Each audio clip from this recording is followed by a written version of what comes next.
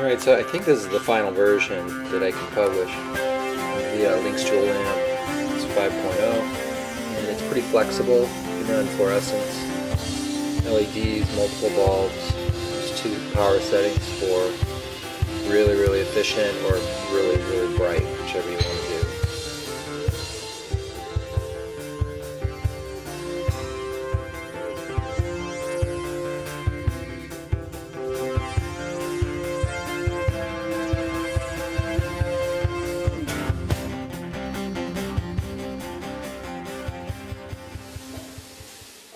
Alright, I designed this one to have two settings, so either high or you can dim it a bit.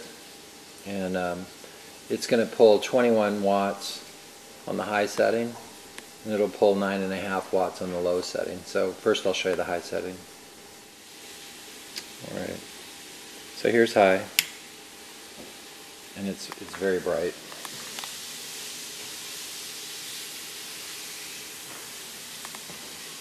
It's on 12 volts. I designed this to work on 12 volts because that's probably the most common.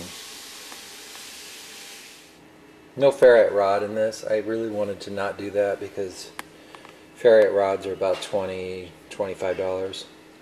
I think it's a little too much for what this is. This is the low setting. That's 9.5 watts with the four bulbs.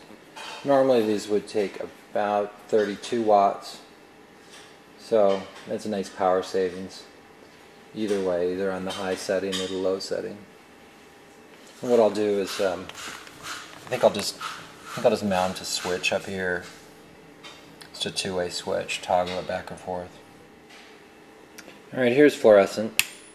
It's very bright. It's 27 watt, pulling about 12 watt.